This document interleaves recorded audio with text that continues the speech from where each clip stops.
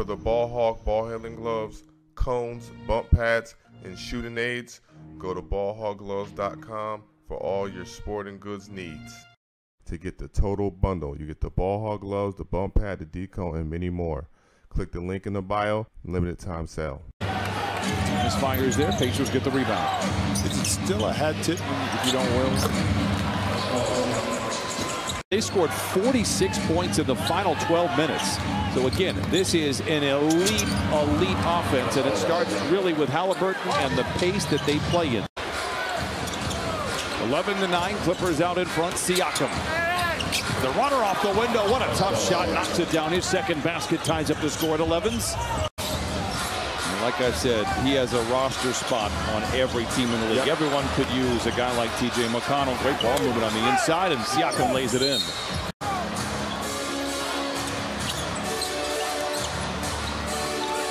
Siakam backs down on George, gets to the dotted line and feathers it in, and Indiana ties up the score at 44. Yeah, true. you were too good, man. That Midwest education, man. I was questioning my own basketball credibility having not played horsey. Uh, Siakam flushes it down.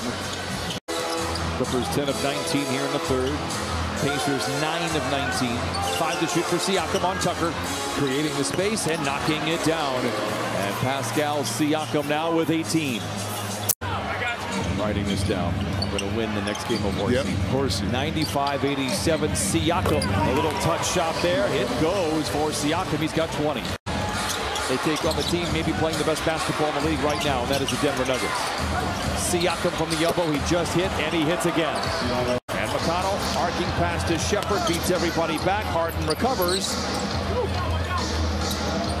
And Siakam down the lane and punches it in. And Pascal Siakam now with 24 emphatically finishing. Clippers down by 14. Harden down the lane, blocked by Smith. Here comes McConnell. Ahead to Siakam. Back inside to Smith, and he lays it in. He started the break with the block.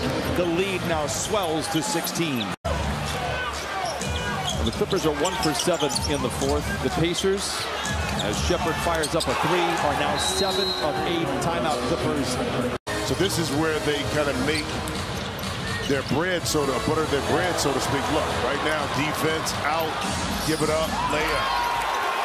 Siakam. Eh?